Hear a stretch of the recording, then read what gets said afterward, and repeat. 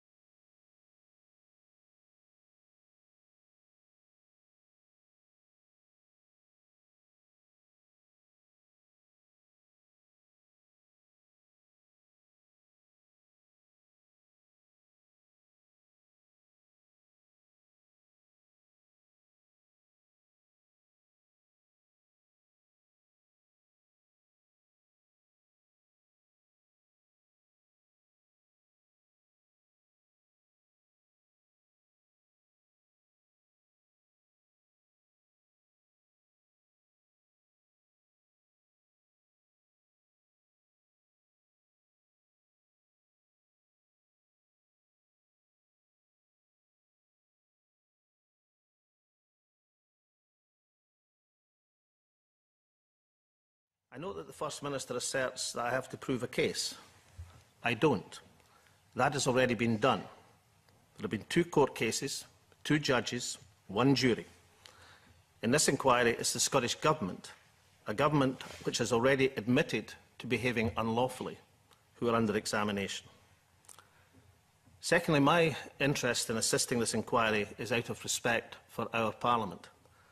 I have made no personal public comment on these matters of any kind for 11 months, not a single television interview or press interview or statement. I have turned down hundreds of such offers, which, as committee members will know, has not hitherto been my normal policy. I have watched with growing frustration over the last six months while this committee has been systematically deprived of the evidence it has legitimately sought. Indeed, I'm just about your only witness who has been actively trying to present you with evidence as opposed to withholding it. As we saw this week, even after it is published, it is then unpublished by intervention of a Crown Office who should not be questioning the will of Parliament. I watched an astonishment on Wednesday when the First Minister of Scotland, the First Minister of Scotland, used a COVID press conference, a COVID press conference, to effectively question the result of a jury. Still, I said nothing. Well, today, that changes. I have no incentive or advantage in revisiting the hurt and shock of the last three years from a personal perspective, or indeed from the perspective of two complainants failed by the government and then forced directly against their express wishes into a criminal process. This now admitted action neither served the wishes of the complainants nor the interests of justice. For two years and six months, this has been a nightmare.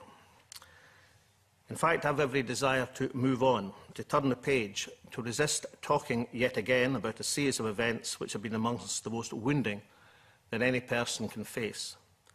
But the reason I'm here today is because we can't turn that page, nor move on, until the decision-making which is undermining the system of government in Scotland is addressed competence and professionalism of the civil service matters. The independence of the Crown Office as acting in the public interest matters.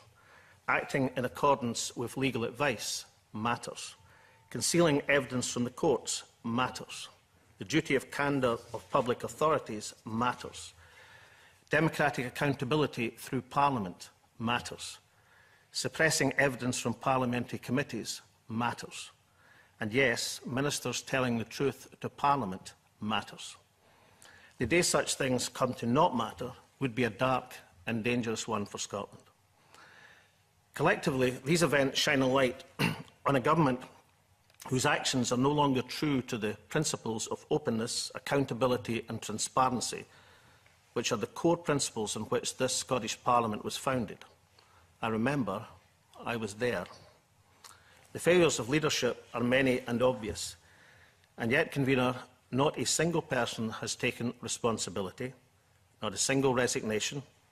not a single sacking, not even an admonition.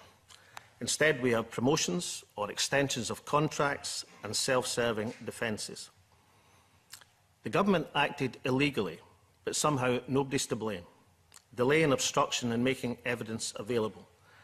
A committee has been asked to do its job with both hands tied behind its back and a blindfold on, witness after witness later adjusting evidence delivered under oath.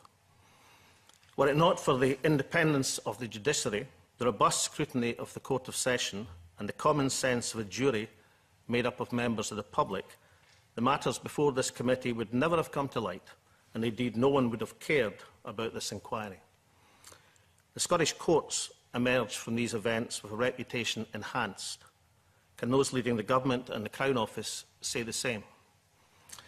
Some people say that the failures of these institutions, the blurring of the boundaries between party, government and prosecution service, mean that Scotland is in danger of becoming a failed state. I disagree. The Scottish civil servant hasn't failed. Its leadership has failed. The Crown Office hasn't failed. Its leadership has failed. Scotland hasn't failed. Its leadership